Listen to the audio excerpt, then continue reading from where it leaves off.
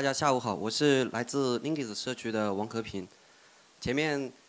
各位老师就讲的比较底层、比较技术，然后我今天带的是比较简单的、轻松一点的，给大家简简单进行一个介绍。我今天带来的议题是基于阿帕奇 Linkis 快速的、高效去构建数据应用开发工具。呃，我将从以下五个议题进行展开。首先，我会简要给大家去介绍一下 Linkis 是什么，然后讲一下什么是数据用开发基座。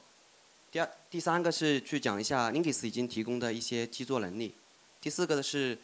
呃，基于 Linkis 的一些数据基座去做的一个应用案例。第五个的话是 Linkis 的一些未来规划。首先是讲简要介绍一下 Linkis 是什么。呃，其实我刚刚也发现了，就是大在在下面做的大家其实都是搞大数据相关的，就是现在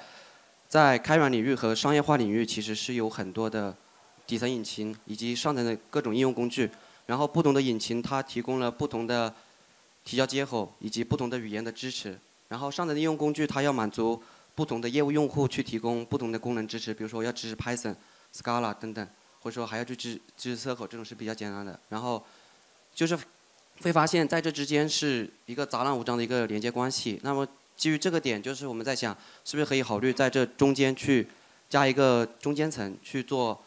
呃，一个连接，去做上下的一个连接打通，以及做一个上上层的应用工具间的一个连接打通，然后去做我们的一个扩展，去做快速的去做引擎的扩展，然后去做任务的编排，以及我们的一些功能的复用，然后去做任务的治理，去做多租户的管理。高并发、高合用等等，这就是 Linkis 的一个简单的定位。然后这是 Linkis 的一个架构，Linkis 是基于一个 Spring Cloud 的一个微服务的架构。然后它，呃，首先是有一个核心的服务组，就是计算治理的服务组，它是去完成我们的计算引擎和存储引擎的任务的一个提交、准备和执行，然后最后的一个结果返回。然后第二个是它的一个公共增强服务组，也是。本次内容会去着重去介绍的，就是它提供了很多公共的能力，去提供统一的数据源，呃，统一的物料。比如说我任务里面可能有一些 Python 的物料、Java 的物料，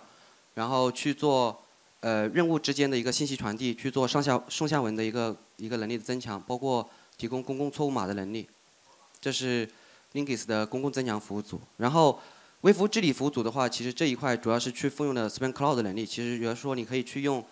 现成的一些很多 Spring Cloud 的那些发行版，比如说阿里的呀、腾讯的这些都可以去用。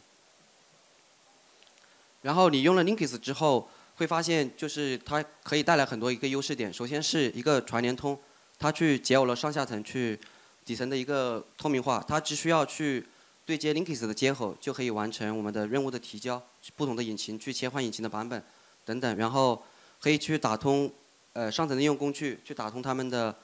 运行时环境，然后等等，然后第二个的话是易扩展，就是新引擎的话，之前可能就是每个上层用工具它都要去适配不同的新引擎，然后去做不同的版本的控制。然后你对接了 Linkis 的话，它可以去呃在 Linkis 这边完成这些引擎的一个对接，包括你的那些引擎的运行时环境、配置文件等等，都只需要去在 Linkis 这一层去完成，然后可以去解决它的高并发、高合用、多租户的一个问。一个问题，然后第三个的话就是强管控。当当我们的任务都对接到了 Linkis 之后，它的呃，因为对 Linkis 对外的接口是支持像我们通用的认证，比如说 LDAP、c o p u s 这种认证都是可以支持的。然后你可以去做很好的任务审计、接口审计和拦截等等，包括你可以去做一些 bad SQL 的控制、bad job 的控制，比如说一些高危风险的一些操作。其实因为我们是银行嘛，比如说你呃中国 database 这种语句。有可能是被业务用户去敲敲下去，然后所以我们去做这些拦截。当然，其实这种语句是已经在底层也做了控制嘛。第三个就是用户和应用资源的一个管控，就是我们会去做多租户的管控，去做对它的样的资源做管控，K8s 的资源做管控。就是说，你这些用户他只能用这么多资源。第四个的话是一个简便化，它就是屏蔽了底层引擎的这些接入，然后去。呃，第二个的话，去简化故障的排除，因为，呃，上层的业务的那些分析用户，其实他们是不知道，比如说 Spark 它抛了一个 OM，它为什么是它为什么 OM，他们是不知道的。比如说你这个异常信息，他们根本就不了解这些异常信息是干嘛的，host by 他们看都不会看，所以我们会基于这些信息去封装错误码的能力去给到业务用户，就是说告诉他，比如说你是某个参数需要去调整，等等。最后一个就是 if 用，它可以去降低我们上层应用的一个工具的一个后台的代码量，以及它我们的一个认为的一个复杂度，就是我们只需要去呃关注我们上层用工具的一些功能特性和我们的一个交互体验等等。第二个就是给大家介绍一下什么是数据应用开发基座。呃，就是当我们去开发一些数据应用开发工具的时候，我们会发现我们会遇到很多问题。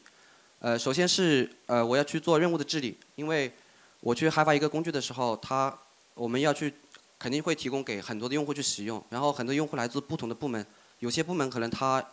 他有预算，他会买很多机器，那么我可以去给他很多的资源，我要去做资源的管控，这就是上层用工具它可能要去做资源的管控，也要去做这些任务的高并发处理，我要去做拥塞控制啊，做排队啊，做优先级啊，那么之前可能就是要在不同的上层应用工具去做这些事情，然后我也去解决我们任务的一个状态的管理问题，一定要保证我的任务是一定要执行成功的。假如它的语句是没有问题的，一定是要给出来一个正式的结果。第二个就是一个重复造轮子，就是我们会发现我们很多的数据用开发工具，比如说你开发一个 IDE 的工具和一个数据质量的工具的时候，存在我都需要去连接不同的数据源，那么我要一些数据源的查询信息。数据源的连接信息，我会发现我在 ID 上面也要去做，我在数据质量工具，可能后面要在调度工具的上面的时候，我也要去做这些事情。然后，第二个就是我的用户函数和 UDF 也是存在一些重复性的问题，因为你在 ID 上面定义这个 UDF，当你去做发布的时候，你会发现它根本在调度工具那边去用不了，因为你的这些物料是在 ID 这个组件里面。在这个应用工具里面，你的任务是依赖是不共享的，需要存在多次拷贝的情况，这就导致了一个应用孤岛的一个情况。包括我们的这些呃公共信息啊，我我的任务记录可能是散布在各个不同的上层应用工工具当中，我要去做审计的时候，就会发现我们的工作量是非常复杂的，要把很多的这些任务日志记录到都要导到一个地方，然后去做审计，可能每个任务的日。每个任务的记录的每个上层应用工具任务记录的一些信息格式可能都是不一致的，最后就导致一个扩展复杂。然后因为它新的引擎存储的适配工作量是其实是比较大的，不是很多引擎提供了像 JDBC 接口，比如说有些引擎它提供的 JDBC 接口可能也不是特别稳定的，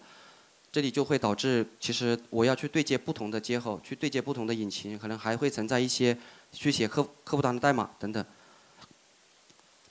另外就是我的客户端也其实也是存在，比如说我要部署一个 Spark 的客户端，你要去首先你要去装很多的运行时环境，Java、Python 啊，然后你要去装 Spark 的包，然后要去有很多的配置文件，你要去做关联。就你要扩一台新节点的时候，你会发现我的很多上层用工具要去扩节点的时候，都要去做这些重复性的事情。然后包括我要去做 Spark 二到 Spark 三升级的时候，因为很多情况下我们是要存在一个灰度的情况。我不会说一下子我就从二直接跳到三，那么我会存在很多时候要存在运同一时间运行两个版本，那其实对上层应用工具来说，我就是说我我所有的应用工具我都要支持切换版本，那这里其实存在很多的一些重复性的工作，那么基于基于这个点，就是说你可以看得到，就是我们去开发一个 IDE 的工具和一个数据质量的工具的时候，会发现很多的一些重复性的工作，就像上面展示的我 UDF 啊、数据源啊这些和。数据质量那边也是要去做这些工作，然后这之中间是存在一个割裂的，然后工作也是工作量也是重复的，然后对我们一个平台管理方来说，那么你去花这么多的人力投入这么多事情去做做双份的工作，就是为什么不考虑就是说把这些工作做一个就是分之前分散在各个工具的一些功能去做一个集中的沉淀，然后形成一个可复用标准化的一个统一能力。首先就是它。这个就是数据用开发的一个基座的一个定义，然后它要提供哪些能力呢？首先是它去联通，它去打通一个南北线的南北向的一个联通，它去连接我上层的应用工具和底层的存储引计算存储引擎。另外一个就是去东西向的联通，这一块讲的就是说我的刚刚说的应用孤岛的一个情况，我的 IDE 工具怎么快速的把这些物料发布到调度工具，然后怎么去把 IDE 的一个结果去给到数据质量工具去做校验，去做南东西向的一个打通。第二个就是去简化，去简化我们的上层工具和底层引擎的一个接入，去简化我们的认为和开发的量。第三个的话就是一个扩展，去做我们工具层和连接层的一个呃快速的扩展的一个能力，然后支持横向扩容啊、高合用等等。第四个的话是一个管控，去做我们这些多租户的一个隔离啊、传线啊，然后资源管控啊、请求记录审计啊，包括 batch job 防防控啊等等。最后一个的话就是我去把这些公共的能力去提供复用的一个能力，去统一它的语义。我在不同的工具中去定义的一些 UDF 啊和自定义变量，在在整个我的数据套件当中其实是同一个语义的，不会存在一些数据数据不一致的问题。第三，第三个我要给大家带来的就是 Linux 现在已经提供提供了一些基座能力，就它做了哪些能力去做这些事情，去帮助我们数据应用开发工具去快速的构建。呃，其其实 Linux 它主要其实有两部分的能力去做提供，首先是一个任务治理的能力，它去呃解耦上下层，就是解耦上上层的应用工具和底层的计算存储引擎，然后去做。我们的任务的一个连接性和可重复用性的一个统一，去做任务的管控，就是去做任务的这一块的计算治理，这是第一个能力。然后第二个能力就是，它提供了公共增强的能力，去提供可复用的数据源啊、UDF 啊、配置、变量等。然后这些这些刚刚说的这些数据源 UDF，它都是在同一个语义。我数据源的就是一个名字，然后我可以在不同的数据用工工具当中都可以去做使用。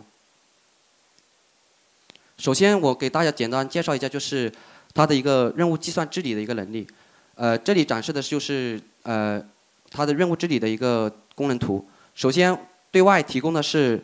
呃统一的接口，就是我支持通用的一些接口，然后比如说 RESTful、JDBC 等等，去提供给上层的应用工具去使用。然后底层去对接到不同的引擎，像 AP、TP、Streaming 这种引擎。然后在中间我们去做。呃，它的任务的一个管控，包括语法检查、作业调度、作业管理，然后去做任务的编排，去做管控，去做它的资源的管控，呃，用户的管控，包括它的呃权限的管控等等。然后基于这个的话，它就可以去上层应用工具，它不需要去关心它的任务的一些调度和正常的执行和结果的返回，它只需要去把任务提交给 Linux。然后去拿拿到结果就可以了。第二个的能力就是呃 Linux 的一个公共增增强的一个能力，就是呃刚刚着重说的，就是 Linux 这一块它提供了公共很多公共增强的一些服务的能力。首先就是它统一上下文，这个是做什么？就是说呃其实我们很多不同的应用的任务，其实他们希望去传递一些信息，比如说我在 ID 上面的一个任务跑出来的一个结果，希望能够快速的去校验它的结果的一个正确性。那么我们就希望把这些任务信息传递给呃数据质质量的工具去做统一上下文的一个功能。然后第二个就是去做统一 UDF 和函数的功能，就是我只要在一个上层应用工具之当中去定义一个 UDF 之后，我在不同的上层应用工具当中我都可以直接去使用，我不需要在数据治理那边、数据质量工具那边我要重新去定义一个 UDF，然后去把这些架包的物料或者 Python 的物料拷贝到另外一个工具当中。我只要只要直接去定义一次，然后第三个就是变量和配置。就我们像 Spark 和 Flink 其实有很多的参数配置的，就是你可能呃，我们有些部门的管理员他说我希望我的这些业务用户他有一些模板配置，那么我们就比如说我 Spark 的呃实例个数是不能超过一百个的，那么我们就去设置这样一些模板。去给到各工上上层的用工具去做使用，然后去提供一些自定义变量，比如说呃日期变量啊，然后呃日期格式变量等等。然后第四个是统一的一个物料，它去做一个什么事情？就是说，其实我们提交任务的时候，不是单单的说去提交一个 c 口代码或者是一个 Python 的代码，我们很多时候是涉及到要去使用很多的 Python 包。但是如果是我们去在 Hadoop 的节点上面去装这些，比如说因为比如说我们去 on 样的情况下，你可能存在在客户端上面去装一个 Python 模块，然后在不同的节点上面都要去装这个 Python 模块。那么 Linux 就是说我去把这些任务依赖的物料可以放在 Linux 这上面去做存储，然后去做分发，到时候，然后第第五个的话就是公共错误码的能力，就刚刚说的，我会去把这些异常的信息去做呃管控分析，然后去提供给业务用户的是一个错误码和一个知识库，它。只要基于这个错误码的一个简单描述，去通过知识库去做它的参数调整，或者是说脚本的调整。最后一个的话就是统一的数据源的一个能力，它做的一个能力就是说我可以通过一个数据源的名字去获取一个哈佛卡的连接信息，MySQL 的连接信息，然后可以去快速的查询它呃 MySQL 里面有哪些库表、库表的字段等等，去方便我们的上层应用工具去使用。呃。基于刚刚说的任务治理能力和公共增强的能力，就可以带来两个以下的效果。首先就是，呃，我可以去减少极大的减少开发认为的人力，就是我不需要之前可能上层应用工具要在它自己的节点上面去装很多运行式环境、很多引擎的依赖，包括很多引擎的配置等等，然后去去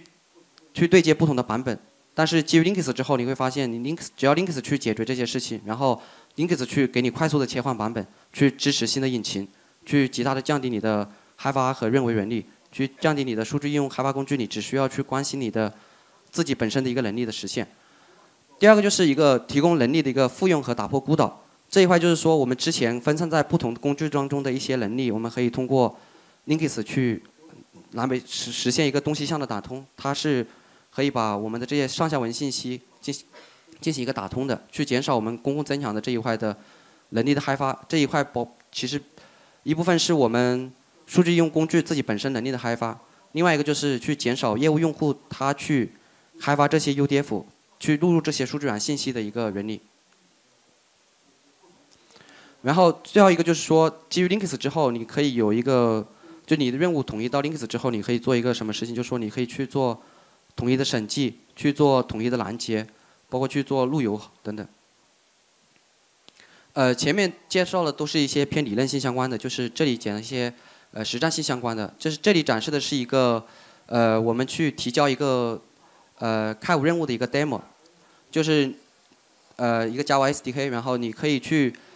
快速的去切换版本。你这里只要去切换它的标签版本，你就可以快速的去做引擎的切换。和版本的切换，然后去做提交语言的切换，支持 SQL、Python 等等这些语言，然后去，呃，当然你也可以去加很多自己个性化的一些参数，比如说我去支持一些规则，比如说我的任务，比如说十分钟认不出、运行不出来，我一定要直接自自动去 Q，就叫 job timeout 啊，job retry 啊，然后去，但有些可能比较变态，就是说我的任务是一定要固定在某个机器上面的，我可能 A 任务会去往。机器上面去写一个数据文件，然后 B 任务是去读取这个文件，这是也是存在的。然后你也很，比如说你会去加一些租户标签呐，去加一些路由标签等等，这些都是可以在 Linux 快速的去实现。这里去展示的就是 Linux 的一个呃治理的一个能力，它可以去做资源资源管控，就是呃它会做应用级的资源管控，比如说我某个应用它只能用六百 GB 的样的队列资源。某个部门，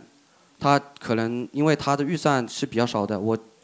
呃，因为我的我部门下面可能拆了很多室，我每个室可能只能用部分的资源，每个用户他只能用部分的资源，我的 Spark 引擎它只能起这么多资源，这一整整的就是多个层级的都可以去做资源的管控，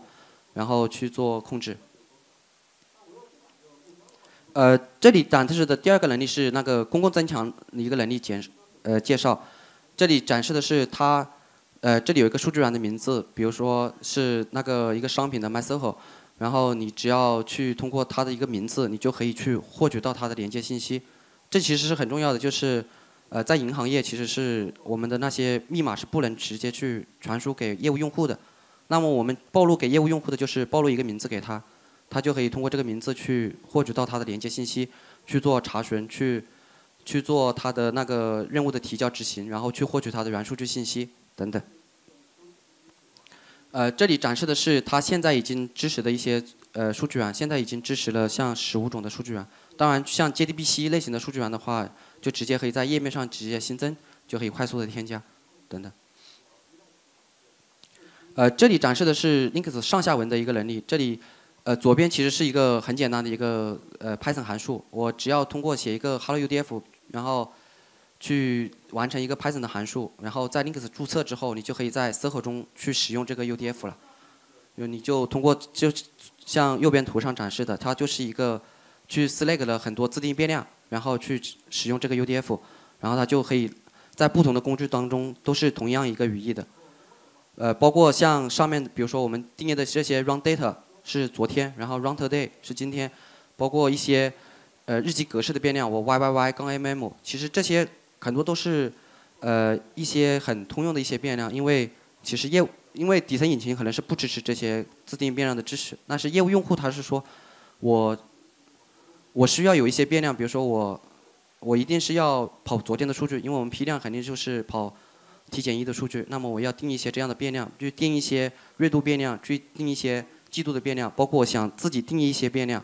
这些都可以在 Linux 上去做。然后定了这些变量之后，然后在不同的双层应用工具当中，都可以直接快速的去使用，而且它的语义都是一样的。呃，这里就是刚刚说的展示的一个搓码的一个能力的一个解决方案的一个说明，就是他写了一个 circle，然后会给他直接给他就是。会吐给他一个解决方案，就是一个错码的一个能力，比如说你的这个库不存在，你应该去怎么去解决，等等。呃，最后第四部分的话是给大家去讲一下，就基于 Apache Linux 构建的一些数据应用工具的一些案例。呃，这里展示的是一个开源的 ID 工具 Scripts 和数据质量工具 Quotes 一个呃两个工具，它们是对接到 Linux 的，像。呃，它会达有什么效果呢？就是首先是更快速的构建，像 Scripts 它只有一些前端代码，它只需要去关心它的前端交互，呃，我去怎么编写脚本，然后我的脚本怎么去呃做我的 SQL 脚本做提示啊，他只要去关心这些它的交互体验，然后他就可以去完成大数据任务的提交，去做呃 ID 的一些数据分析。第二个就是数据质量工具也是一样的，就是它不需要去。关心这些任务的提交啊和用塞控制等等，这个只要在 Quotes 这边去，就是在 Linux 这边去完成就可以了。Quotes 它只需要去关心它的数据质量校验的一些规则，就可以去完成一个 Quotes 数据质量工具的开发。然后也因为他们这两个工具它对接到了 Linux，他们就有一个互联互通的一个效果，就是你在 Scripts 上面执行的一个结果，你可以快速的在 Quotes 上面去做数据质量的校验。其实这个是。很多时候是很有用的，比如说我的一个报表，去发送的时候，它我们希望，因为很多时候报表是发送给领导的，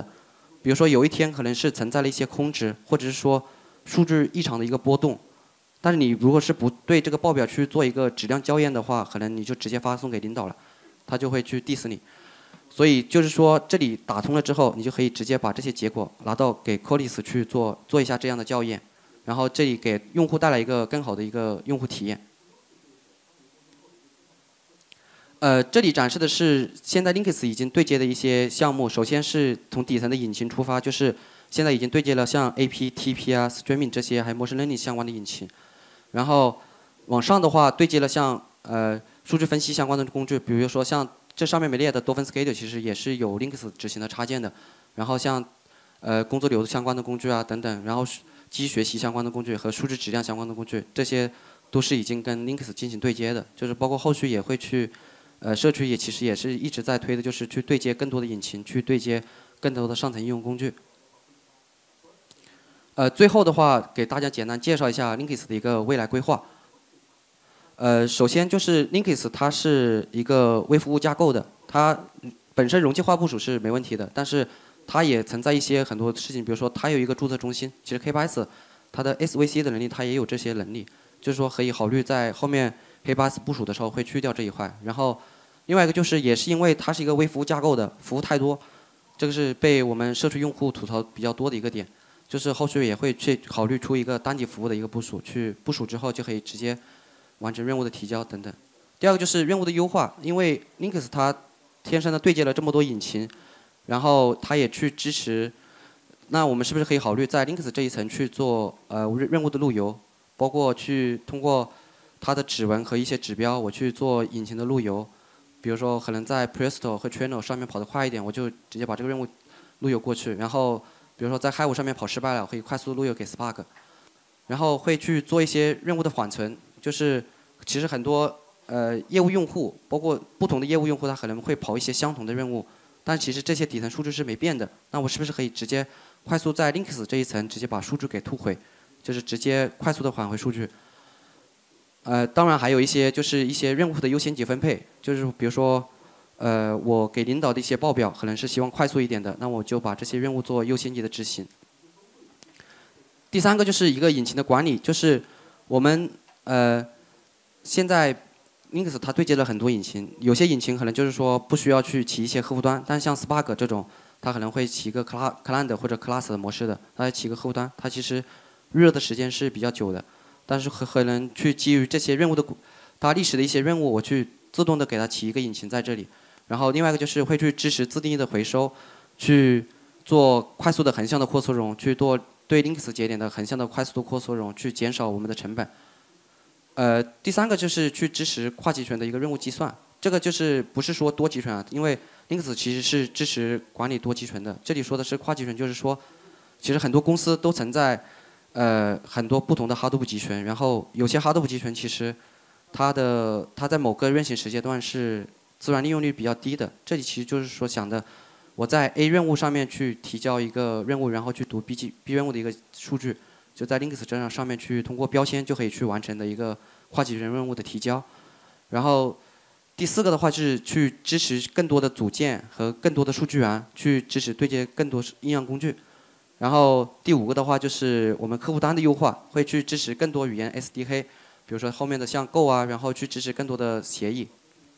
最后一个就是任务稳定性这一块。呃，我们也会去考虑去新增，呃，就其实现在已经在做了，就是做了一个社区在做的，就一个 monitor 服务，会去做，呃，已经采集到了很多指标，然后会去做一些自己的监控告警的一个自愈，去做一些数据的清理等等。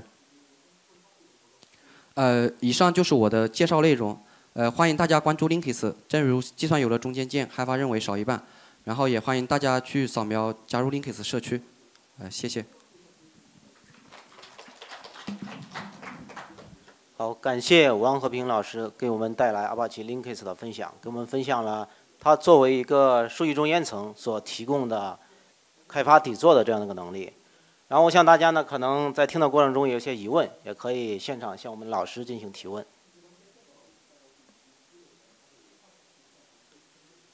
有哪一位？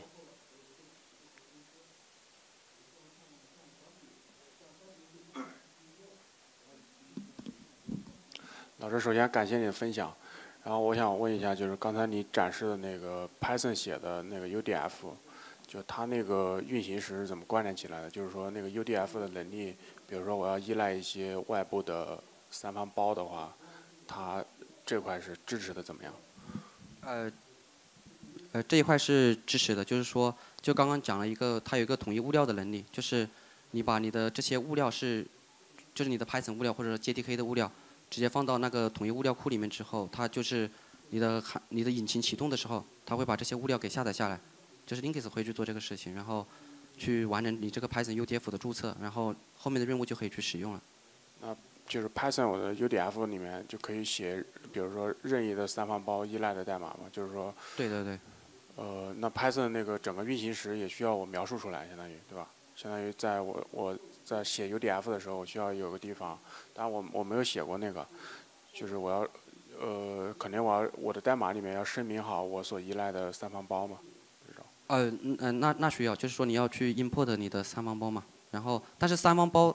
呃，你不需要在你的代码里面去管理，就是它是在 Linux 管理，你就只要去把你的物料上传到上面去就可以了。哦，那这这中间会不会存在就是说跟其他的 UDF 做，呃？就是运行环境那种冲突的哦，架包冲突的情况是吧？啊，对。啊，架包就是说，呃，呃，这个这个是可能会存在的。就说你，你如果你是依赖了不同的架，比如说不同一个一个架包的模块，你依赖的不同的版本，可能是存在冲突的情况的。这个的话是没法解决。OK。嗯。行，那你们那个就是就是加了跟那个，就是我我 Python 写的 UDF，他们之间是怎么交互的？呃，你说 Circle 里面怎么写、怎么使用是吧？啊，对对对。呃，你这个是其实是呃底层引擎的一个能力，像 Spark 它是支持你用 Python 语言去注册 UDF，注册好之后你是可以在 Circle、Python 和 Scala 里面去使用，都可以去使用。OK OK，嗯行行，谢谢谢谢老师。好。